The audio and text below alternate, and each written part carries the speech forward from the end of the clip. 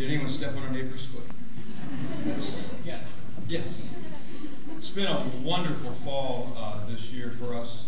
Um, the first two pieces that we did tonight, we sang uh, with our narr- narrator, Edward James Olmos, at uh, Disneyland Candlelight.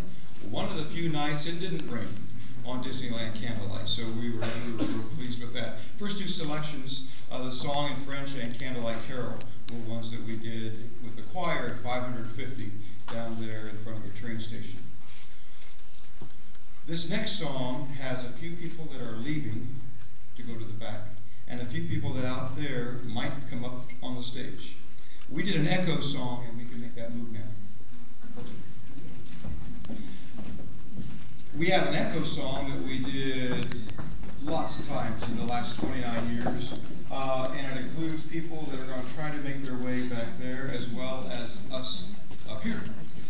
I hear that there might be some uh, Chamber Singers alums that are out in the crowd tonight, and if they remember the song, they may come up, like right now, hi Brandon, and uh, join us. Hey, yeah.